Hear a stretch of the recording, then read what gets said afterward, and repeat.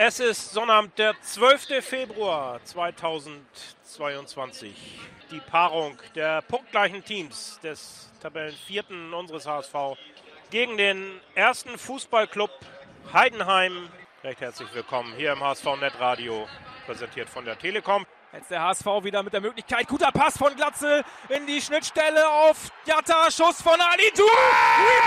Das Tor von ja! Abstauber! Sonny Kittel!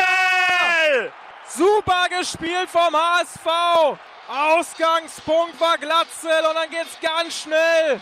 Und am Ende kann Müller gegen Ali Du halten, aber nicht mehr gegen Sonny Kittel.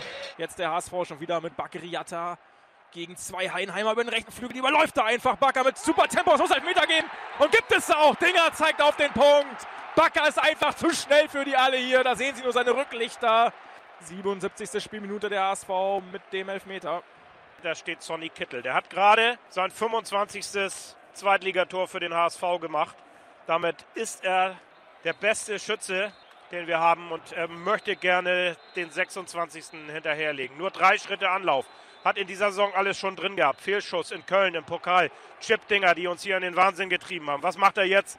Sonny Kittel Kittel läuft an, schießt und Tor! Und Tor! Safe! Safe! Weg! 2 zu 0 für den Hamburger Sportverein. Zweiter Treffer von Sonny Kittel in diesem Spiel. Mit der rechten Innenseite, Aussicht der Schützen, halb hoch, rechts ins Eck. Müller hat die Ecke, aber der ist so stramm geschossen. Da kommt er nicht hin. Sehen wir auch nochmal jetzt in der Hintertorkamera.